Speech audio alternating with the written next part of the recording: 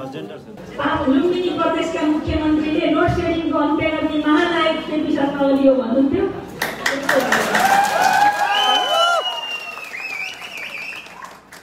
त्यसैले उहाँले विद्युत प्राधिकरणमा नयाँ एमपी नियुक्ति गर्नु भएको छ र फोर्स लोड सेडिङ हो भनेर विद्युत प्राधिकरणले भनिरहेछ पत्रपत्रिमा आएको थियो सुन्नुभएको होला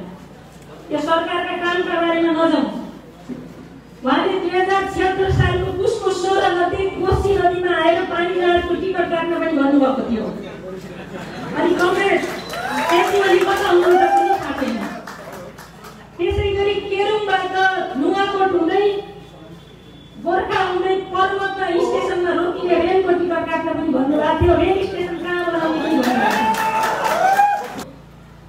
देश बन्नको लागि भिजन चाहिन्छ गफ होइन देश बन्नको Católica da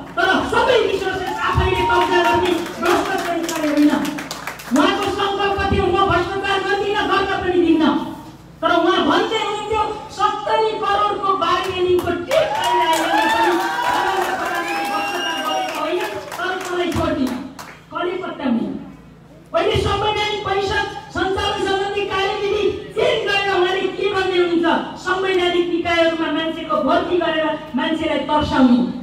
आज केही लखनऊहरूलाई भर्ती गर्दै हुनुहुन्छ के न्यायको केन्द्रीय सदस्य साथीहरू भएका छन् मख परेर हामी सबै चिज आउँछ भनिरहेका छन् निर्वाचन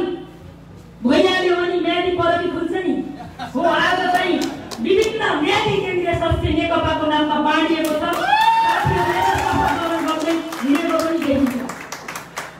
त्यसकारण पार्टी यसरी पनि बन्दैन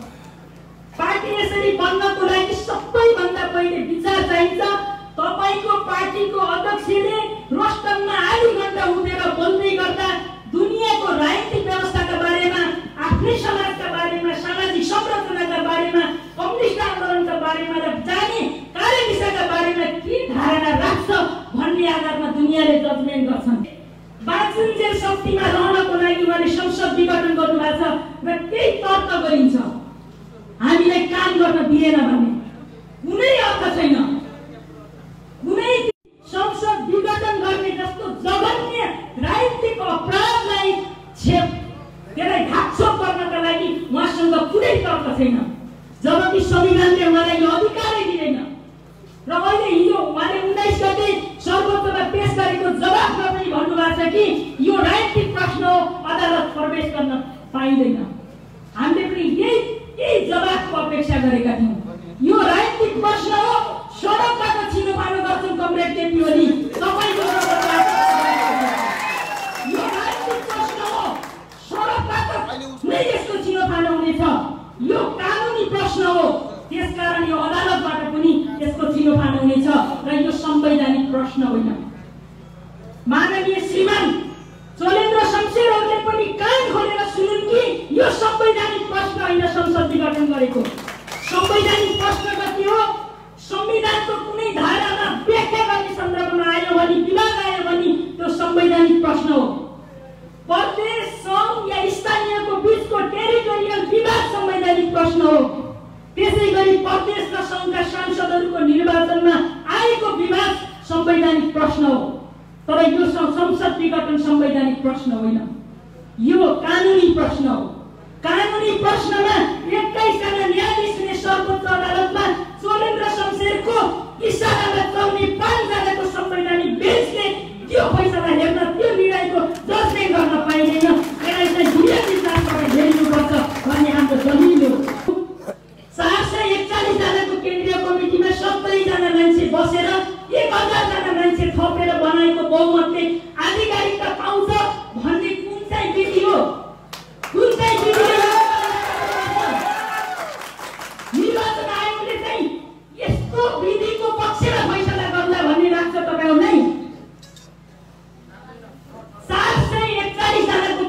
कमिटीमा सत्तरीजना बस्ने एक हजारजना मान्छे थपेर बहुमत पुऱ्याएको केन्द्रीय कमिटीले आधिकारिकता पायो भने पाउँछ भन्ने लाग्छ भने हामीले अनुमान गरौँ कि पानीमा पनि आगो लाग्न सक्छ भनेर। आगो लाग्नको लागि कुनै पनि तत्त्वमा प्रज्वलनशीलता हुनुपर्छ। पानीमा न अक्सिजनमा न हाइड्रोजनमा प्रज्वलनशीलता निस्किसकेपछि छैन।